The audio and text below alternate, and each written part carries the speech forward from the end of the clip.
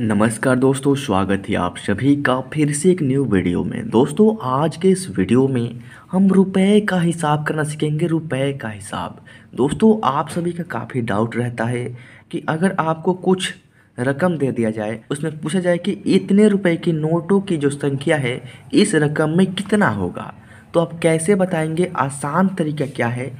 आज के इस वीडियो में हम काफ़ी आसानी से सीखने वाले हैं। तो देखिए हमारा क्वेश्चन क्या है? इसको ध्यानपूर्वक पढ़ना है और काफ़ी आसानी से सॉल्व करेंगे।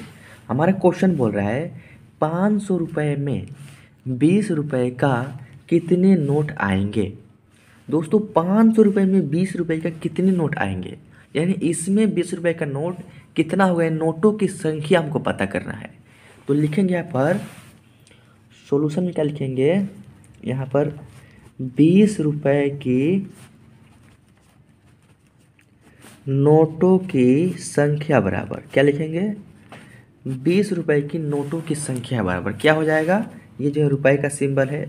जो भी बड़ा अमाउंट है, सबसे पहले उसको लिखेंगे। और इसमें डिवाइड कर देंगे जो छोटा अमाउंट है। जी, हमको बीस रुपए का नोट चाहिए ना तो हम इसमें बीस से डिवाइड कर देंगे। एक ज़ीरो से एक ज़ीरो कट गया। दो से भाग करेंगे पचास में। पच्चीस पर में जाएगा। यानी जो नोटों की संख्या हो गई ना बीस रुपए की, वो हमारा पच्चीस हो गई। यानी पच्चीस नोट जो है, इसमें आएगा। यानी पाँच सौ रुपये में बीस का कितना नोट होगा? पच्चीस होगा। आइए सेकंड क्वेश्चन देखते हैं।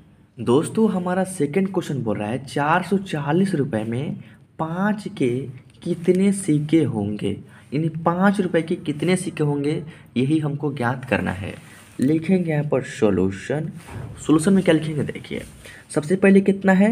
चार सौ चालीस रुपये है। तो सबसे पहले सिंपल से चार सौ चालीस लिखेंगे।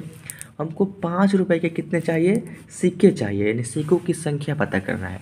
तो इस पाँच से चार सौ चालीस रुपये में डिवाइड कर देंगे। अब देखिए कितना होगा। पाँच से डिवाइड करेंगे तो पाँच के पहाड़ा में चवालीस तो नहीं आता है, लेकिन चवालीस से थोड़ा सा कम चालीस आता है। कितने बार में? पाना वाटे का होता है चालीस। यानी आठ बार में चालीस हो जाएगा। चौवालीस से तो इसमें से चार बचेगा। उस चार को ज़ीरो को पहले लगाएँगे तो हो जाएगा चालीस। और पाँच के पढ़े में चालीस, फिर से पाना अठे के चालीस। यानी यहाँ पर जो है ना, चार सौ चालीस रुपये में पाँच का जो सिक्का होगा अट्ठासी होगा। यानी सिक्कों की संख्या जो है ना अट्ठासी सिक्के होंगे। कितना होंगे? अट्ठासी सिक्के। और इसी तरीक़ा से रुपए का हिसाब किया जाता है। आई होप कि आपको समझ में आ गया होगा। अगर फिर भी कोई डाउट हो तो कमेंट कीजिए। मैं नेक्स्ट वीडियो में आपको क्लियर कर दूँगा। हालाँकि कोई डाउट नहीं रहना चाहिए, मैं आपको काफ़ी आसानी से बता दिया हूँ।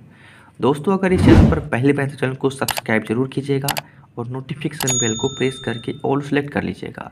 उससे क्या होगा, हमारे न्यू वीडियोज़ का नोटिफिकेशन आपको मिलता रहेगा और आपकी जो भी मैथ की तरीके चलती रहेगी और आपका मैथ काफ़ी स्ट्रांग हो जाएगा।